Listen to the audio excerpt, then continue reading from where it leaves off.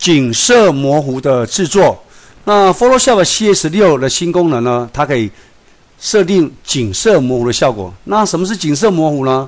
首先，先开启你的档案，我们来点选滤镜，在一到模糊的地方，请再往右移，景色模糊。那这三个是 CS 六新功能。我们点选起来以后呢，好，同学仔细看哦。呃，画面上就出现一个圆圈，有没有？那目前就看到模糊的效果。那在圆圈地方，白色缩小，哎，就清楚哦。那这个拉开一点，哎，就模糊，哦，清楚，模糊。那除了这个以外呢，拖移这个白色圆点是可以调整位置的。好，我把它拉得很清楚来。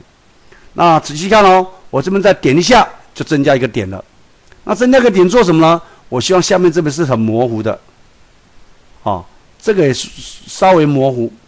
好，那再在上面再点一下，那这个地方呢是让它很模糊。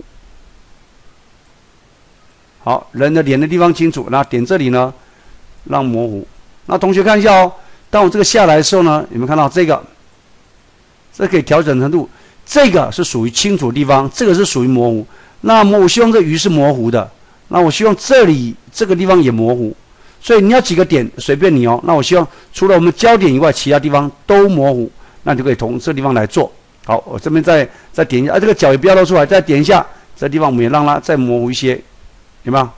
好啊，清楚的地方，人的地方清楚啊。这边再点一点，好，这两个小朋友在这里也很清楚。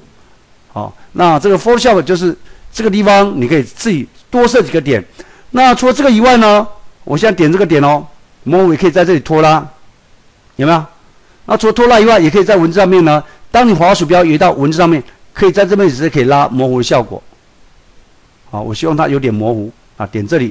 所以第一个可以在这里调白色的，第二个可以拉这个，输这个。那最快的方法可能是在这里拉。